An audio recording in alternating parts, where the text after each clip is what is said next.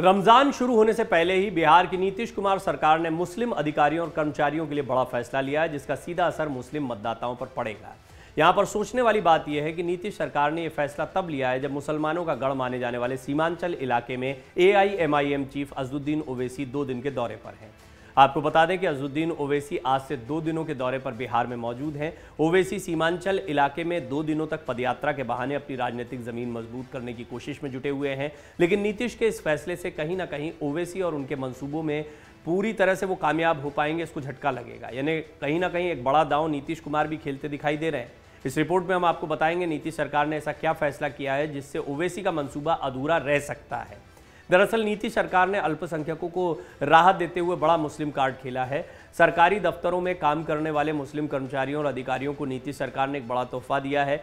रमज़ान के महीने में मुस्लिम कर्मी एक घंटे पहले कार्यालय आ सकते हैं और एक घंटे पहले कार्यालय से घर जा सकते हैं।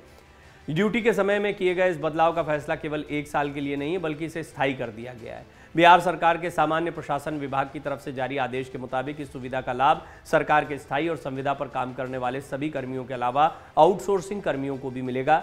सरकार की ओर से यह दावा किया गया है कि इससे सरकारी कामकाज पर कोई असर नहीं पड़ेगा और सबको मिलजुल कर काम करना चाहिए। लोकसभा 2024 और विधानसभा चुनाव 2025 के पहले की ये बड़ी रणनीति मानी जा रही है। और क्या रणनीति है? दरअसल लोकसभा चुनाव 2024 और विधानसभा चुनाव 2025 के पहले बिहार में सभी दलों की सियासी गतिविधियाँ तेज हैं। नीतीश कुमार ने यह फैसला जो लिया है, इसको इसी के अंतर्गत देखा जा रहा है।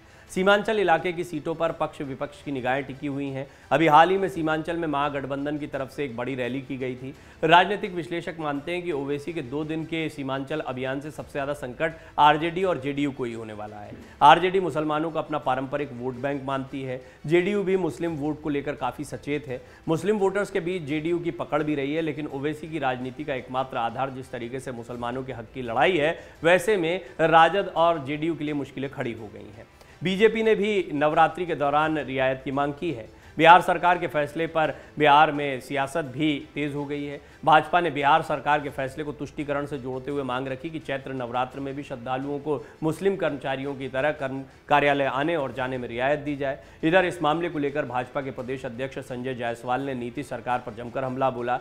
बीजेपी प्रदेश अध्यक्ष संजय जायसवाल ने बिहार सरकार के नए फैसले, रमज़ान में मुसलमान कर्मचारियों को एक घंटा पहले आने और जाने की छूट का जो फैसला है, इस पर सवाल खड़े किए हैं। प्रदेश अध्यक्ष संजय जायसवाल ने कहा कि ये पीएफआई के एजेंट को मदद पहुँचाने वाला काम है। सरकार के मुस्लिम अधिकारियों और आरजेडी के पीएफआई समर्थित कार्यकर्ताओं की सोच का नतीजा है। प्रदेश अध्यक्ष ने सवाल खड़ा करते हुए कहा कि अगर ये छूट रमज़ान पर दी जाती है तो फिर हिंदू त्योहारों में छूट क्यों नहीं दी जाती? अगर आप ये वीडियो YouTube पर देख रहे हैं तो हमारे चैनल को सब्सक्राइब करें और बेल आइकन को दबाना ना भूलें। अगर आप Facebook पर यह वीडियो देख रहे हैं तो हमारे पेज को लाइक करें। डाउनलोड करें अमर उजाला ऐप और पाएँ खबरें लगातार।